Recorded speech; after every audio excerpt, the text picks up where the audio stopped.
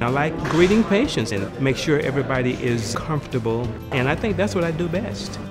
I was a court reporter for 45 years. I was in the courtroom for 45 years. And after I retired, I wanted to give back. I see my role as a volunteer as an ambassador uh, from the community to make the patients feel welcome.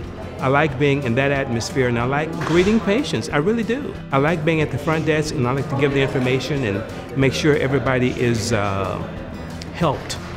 It makes me feel like I'm part of a system that's giving to the community. And this is so necessary today uh, in our society, and this has been extremely, extremely rewarding to me.